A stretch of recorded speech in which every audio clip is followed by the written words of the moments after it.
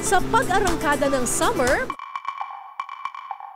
may mga nilalang naman sa Pangasinan na mas nag enjoy at mas nabubuhay pa sa ganitong klaseng klima. Ang laki! Grabe! Ang mga milkfish o bangus.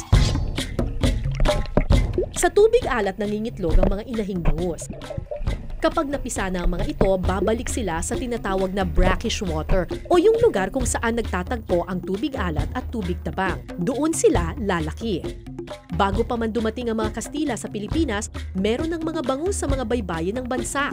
Dahil sa laki ng demand sa bangus ng dagupan, nakaisip ang Bureau of Fisheries and Aquatic Resources o BFAR ng paraan para mas mapabilis ang pagpaparami ng bangus. Itinayo nila ang breeding facility na ito sa dagupan para mag-alaga ng mga inahing bangus na pinapaitlog. Oh my God! Ang laki! Grabe! Wow, look at that! Oh my God! Ang laki! Ilang kilo yan, kuya? 8 kilos? Oh my gosh, ganito kalaki yung bangus. Itong particular tank kasi na ito, this is the breeder's tank. Ito yung ah, halos lahat ng mga bangus na nandito sa loob ng tangke na ito, sila yung mga mangingitlog or kasalukuyang nangingitlog. Very salty yung water dito. Talagang pinapump out nila galing sa dagat. Yun kasi yung perfect na environment para sa mga breeders. Hanggang pa, oh! Kailangan nating ma- makuha yung tamang sex ratio ng pag-breed. Dapat 50% nung nakalagay dun sa breeding tank natin ay babae at 50% ay lalaki. Para siguradong magkakaroon tayo ng mga Correct. itlog. Oo. Oo. Oo. Ang isang problema, physically, sa panlabas, hindi natin malalaman kung alin ang lalaki at babae. Whoops! Wow! Teka kuya! Madulas siya. Ang bigat nito. Oh my gosh. Shock, sorry. Ay, Diyos ko Lord, kuya. Sandali lang po. oh my God, parang nakikipag-wrestling sa bangus. So, ito po yung anal opening niya. Papasok po sa gilid. Oh, ikaw nang Kasi ito gumawa po yung yan. fans. As in, completely papasok? Tapos, paano ko Tapos i-aspirate lang po siya. Aspirate. Okay, okay. Kuya, baka makain mo. Maalat Ano yung kinukuha niya sa loob? yung part ng gonad. Sample. Ayun po, granular siya. Babae po. Po, Alam mo na kaagad! Opo, yung bilog-bilog po. Yun. Oh my gosh! Ah, ah, hindi ko alam kung makikita ninyo pero parang may... Parang bilog-bilog, oh. Yan na yung... Ayun, oh. Yung white na yan. So, babae ito. Babae ito. Opo. Yan na yung eggs? Opo. How amazing. Dito sa breeder tank, aalagaan ang mga inahing bangus hanggang sa mangitlog. Ang bangus nangingitlog sa gabi. Halos lahat na isda. Mm-mm. So, mga 10 o'clock, pwede na silang magligawan. Uh, so, in the morning, early in the morning, ah, yung itlog, kukolektahin namin dito.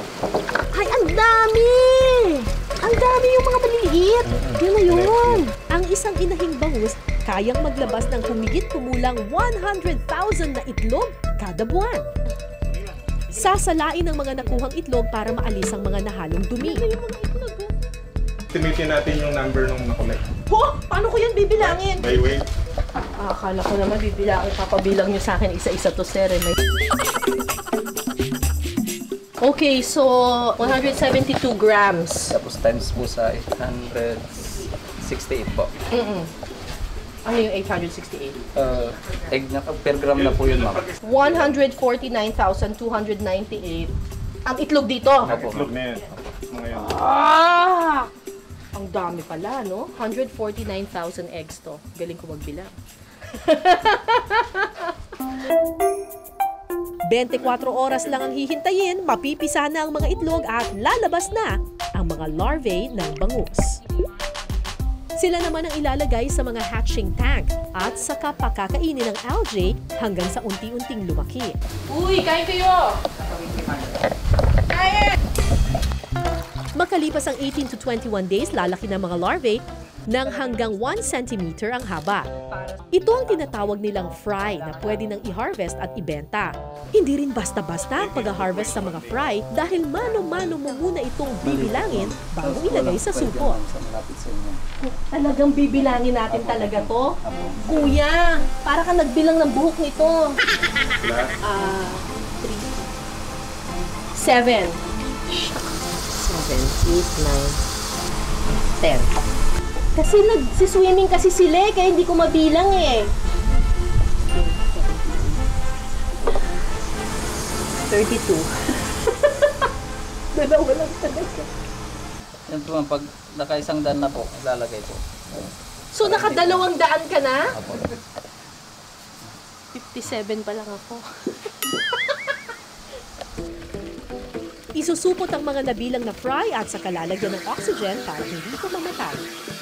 Ang laman ng isang plastic na ito ay estimated mga 5,000 na fry. 23 centavos ang isang fry. So, 23 times 5,000 is mga 1,000 something. 1,100 something. Galing ko sa math, no? Ang mga fry na ito ibebenta sa mga fish farm at doon na palalakihin. Sa loob ng tatlo hanggang anim na buwan, pwede nang anihin ang mga bangus. Aabot sa mahigit 2.5 million kilos ng bangus ang inaani sa dagupan kada taon. Mga bangus na ito ibinabagsak sa konsignasyon sa dagupan. At saka ibebenta sa mga pamilihan. Bukod sa mga lutuing ito, may isa pang espesyal na putahe ang pinasikat ng mga taga-dagupan. Dahil matagal at mabusisi itong lutuin, madalas sa mga handaan lang ito matitikman, ang relyenong bangus. Una munang tatanggalin ang laman ng bangus mula sa balat nito. Pag nakuha na ang laman, aalisin ang mga pituka at iba pang laman loob at saka mano-manong aalisin ang mga tinik nito. Naku, matrabaho pala itong pagre-relleno. Ano? Mabusisi. Dito, may tinik. Dito sa gitna, may tinik. Dito sa gilid, malalaki. Ganyan. Ayan, kasama na. So, kabisado nyo na kung saan nakapwesto yung mga, ayun, isang linya lang pala yun, ano? Na.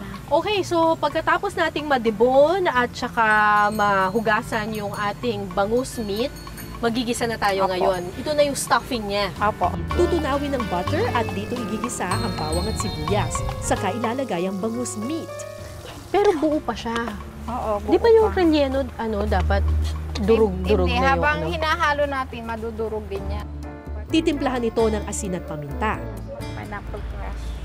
Ah, pero crushed pineapples. Para saan yung pineapples? Para ano, pang matamis na medyo Maasim-asim. Ah. Tsaka yung pickles niya. Sunod na ilalagay ang oyster sauce, carrots, red bell pepper, green peas, tomato paste at liver spread. Wow, look at that. Ang ganda na ng kulay. Pwede na natin ilagay yung cheese. Yan. cheese. Uy, may secret. Yung itlog na lang. Ilalagay na natin yung itlog. Oo, kalahati lang. Lagay na natin ngayon yung pasas. Ang gusto nating makuha na consistency nito ay yung tuyo na siya. Oo. Oo, yung hindi yung mabasa-basa. Pag malamig na ang bangus stuffing, pwede nang umpisahan ang pagre-relleno. Tinatawag ding poor man's relleno ang rellenong bangus dahil di hamak na mas mura ang paggawa nito kumpara sa rellenong manok. Madalas daw itong ihain noon tuwing mahal na araw, panahon kung kailan marami ang hindi kumakain ng karne ng manok, baboy o baka. Ayan. Ang amazing dito sa milkfish or sa bangus, yung skin niya napakatibay na kahit lagyan mo siya ng ganitong klaseng stuffing, hindi nasisira, ano? Hindi mo to pwedeng gawin sa tilapia ata eh. Ididip ang pinalaman ng bangus sa itlog at harina at saka i-deep fry hanggang maging golden brown ang balat.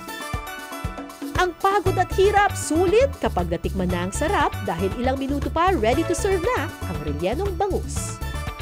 Wow! Busog na busog yung bangos.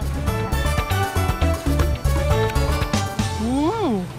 Ito yung masarap dito, yung taba eh. Ayun. Talagang busog na busog yung ano ah. wow. Wala. Anong walang lasang bangus?